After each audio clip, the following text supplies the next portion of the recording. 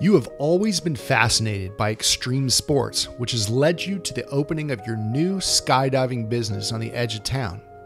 As the owner of the business, you want to ensure you purchase the safest and most accurate parachutes on the market. There are so many choices to make. Should you buy round ones, rectangular ones, large ones, small ones, plastic ones, fabric ones? The choices are endless you decide to create a little challenge to help make your decision easier.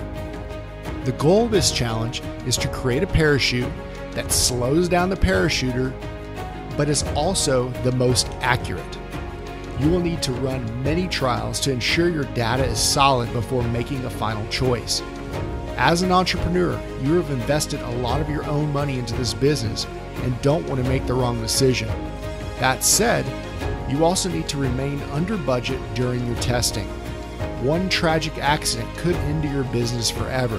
The safety of others is dependent on you. Good luck.